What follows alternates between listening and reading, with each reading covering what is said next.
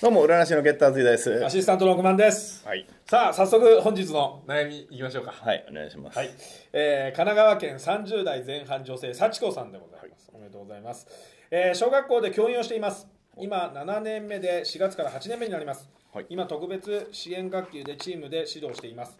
組んでいる先輩は自分より年上だし一緒に組んでいると勉強になることばかりです。しかし学校事情としては30代が一番下っ端でいるのは稀なケースで一般級に一般級に戻っ一般級に戻って仕事した方がいいのかな甘えてるのかなと思うこともあります。うまく仕事ができるわけではないので一般級に戻る不安さもあります。このまま先輩のもとでゆるゆる仕事をするのか厳しい道に進むのかそもそも教員が向いているのか教えてください。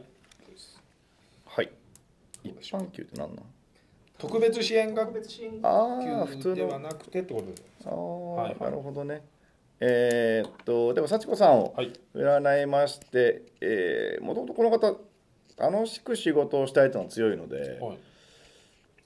先生まあまあ理屈で物事を伝えるという部分では先生はえーある合ってればいるはいるんですけども2019年中は今のままでいいと思います。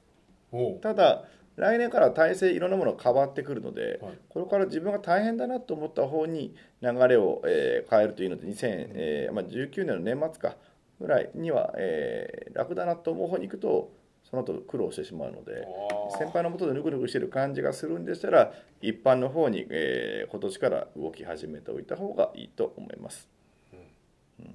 なるほど。うん。まあまあ別にいいんじゃない、うんうんうん。